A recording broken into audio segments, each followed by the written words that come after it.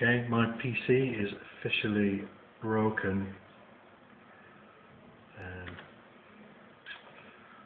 so, I'm doing this in the hope of capturing the blue screen. Yeah, in HD. So hopefully, I'll get the blue screen. I'll be able to read the message when I freeze frame through this video. Unless it's so quick, like that, like lightning disappears.